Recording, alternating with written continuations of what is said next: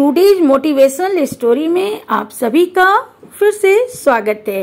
और आज मैं फिर से आप सबके लिए लेके आई हूँ एक प्रेरक कहानी। तो कहानी कुछ इस प्रकार से है। एक गाँव में दो भाई रहते थे। उनके बीच सहज बंटवारा हुआ, पर सोने की एक अंगूठी को लेकर दोनों के बीच में विवाद हो गया, यानी कि बहस हो गई। अब बहस बढ़ने पर दोनों भाई अपनी समस्या को लेकर एक संत प्रवृत्ति के राजा के पास पहुँचे। राजा बोले, जो कि संत प्रवृत्ति के थे, अपनी अंगूठी यहीं रख जाओ और कल आकर ले जाना। उनके जाने के बाद राजा ने सुनार को बुलाकर उस अंगूठी की प्रतिलिपि तैयार करने को कहा। यानी कि वैसी ही एक और अंगूठी बनाने को कहा और उसका मूल्य स्वयं के पास से चुका दिया।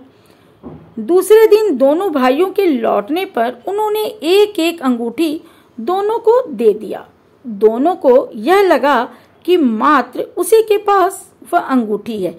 इसलिए दोनों प्रसन्न होकर अपने अपने घरों को लौट गए तथा दोनों के मध्य, यानी कि दोनों के बीच संबंध भी सुधर गए। एक दिन आपसी चर्चा में सत्य पता चलने पर वे राजा के पास पहुँचे और उनसे ऐसा करने का कारण पूछा। राजा बोले, सोना तो तुच्छ चीज़ है। संबंधों का मूल्य अधिक है। यानी कि सोना बहुत ही छोटी चीज़ है। किसी भी रिश्ते संबंध के आगे, उनमें कभी भी दूरी नहीं आनी चाहिए। दोनों भाइयों ने आपसी विवाद को भुला दिया और अंगूठी का मूल्य राजा को चुकाकर प्रेम पूर्वक जीवन में रहने लगे।